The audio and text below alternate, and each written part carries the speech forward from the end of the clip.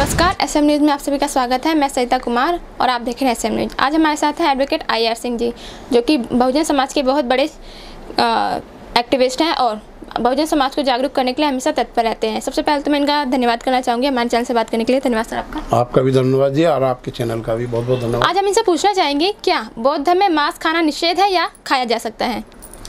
देखिए भगवान बुद्ध ने अपने धर्म का उन्होंने धर्म शब्द का प्रयोग नहीं करा पाली के धम्म शब्द का प्रयोग करा है और पाली का, पाली भाषा में जो अर्थ होता है, वो होता है गाँव, पाली शब्द का।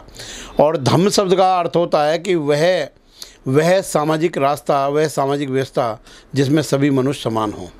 ये बुद्ध का और बुद्ध शब्द का अर्थ ही ये है कि आपके अंदर ज्ञान हो और जो बुद्ध का अपना ये आप सवाल आपने करा है कि बौद्ध धर्म का बौद्ध धर्म का मैं मांस खाना निषेध है या अलाव है या मना है।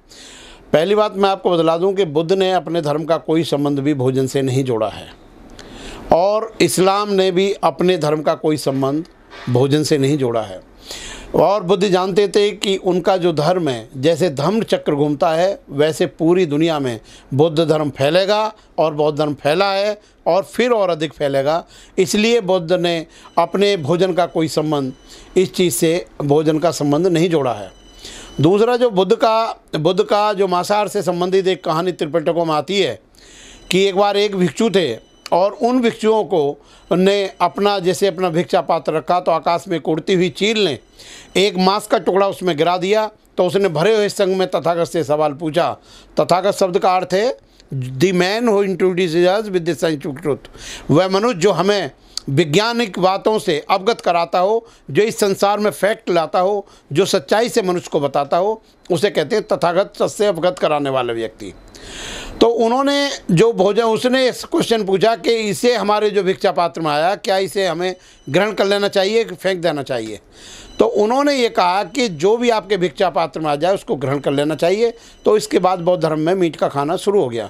दूसरा बात यह है, बौद्ध धर्म में मीट के खाने के संबंध में कि मीट जो है मीट, अगर कोई मनुष्य ऐसी विषम परिस्थिति में है जापान वगैरह के इनमें तो वो बिना भोजन, बिना मीट के नहीं रह सकता। तो बुद्ध का जो सिद्धांत है कि कभी किसी पर दया करो, किसी को नहीं मारो, लेकिन अगर भोजन की आवश्यकता हो और कोई आदमी अगर उसका खाने के लिए कोई उपलब्ध है तो उसको हम प्रयोग कर सकते हैं। इसलिए बुद्ध ने अहिंसा का जो सिद्धांत है, वो जैन का, महावीर जैन का है, वो जैन धर्म का है, लेकिन यहाँ जो आदमी की सुरक्षा से संबंधित बात है जो आईपीसी की धारा 96 से लेके 106 तक प्राइवेट डिफेंस हैं प्रा, प्राइवेट राइट्स हैं डिफेंस के कि एक मनुष्य अपनी प्रॉपर्टी की अपने जीवन की अपने बीवी बच्चों की अपने मकान की सुरक्षा कर सकता है। वो सारी सुरक्षा करने के इंतज़ाम अब बौद्ध धर्म में है। इसलिए बौद्ध धर्म में मांस पे खाने पर कोई भी पाबंदी नहीं लगाई गई है और ये भी नहीं कहा गया कि हत्या करी जा किसी को मानना चाहिए। और मैं आपको बता दूँ, जो चीन में, जापान में, कोरिया में, कंबोडिया कंपोजिया में, थाईलैंड में, बर्मा में और वहाँ पर बौद्ध धर्म के बाहर एक होटल पे लिखा रहता है कि यहाँ अपने आप मरे हुए पशु का मीट मिलता है। जैसे भारत में लिखा रहता है कि यहाँ पर केवल देसी घी से बना हुआ भोजन यहाँ मिलता है। तो इसलिए बुद्ध ने ये कहा है कि हमें हत्या नहीं करनी चाहिए, किसी पर जुल्म नहीं करना चाहिए, कोई मानना नहीं चाहिए। तो मैं आपको बिल्कुल क्लियर बताना चाहता हूँ कि बौद्ध धर्म में जो राइट टू प्राइवेट डिफेंस के राइट्स हैं कि आदमी अपनी प्रॉपर्टी की और अपनी सुरक्षा सेक्शन 96 से लेके 106 आईपीसी की जो धारा है, उसके तहत अपनी पूरी सुरक्षा कर दिया गया है। अगर कोई आपके मकान में आग लगा रहा हो, आपको चाकू मार रहा हो तो आप उसकी हत्या कर सकते हो, बौद्ध धर्म में कोई नहीं है। लेकिन किसी की हत्या के लिए उकसाना या व्यर्थ में किसी के प्राण लेना, ये बौद्ध धर्म में निषेध है।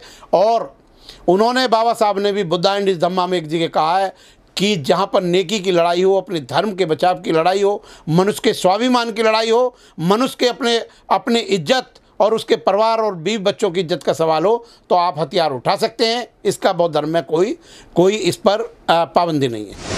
अगर आपने अभी तक हमारा चैनल सब्सक्राइब नहीं किया है तो सब्सक्राइब करें और घंटी का बटन बिल्कुल भी दबाना ना भूलें, ताकि सभी लेटेस्ट खबरें पहुँच सकें आप पे सबसे पहले।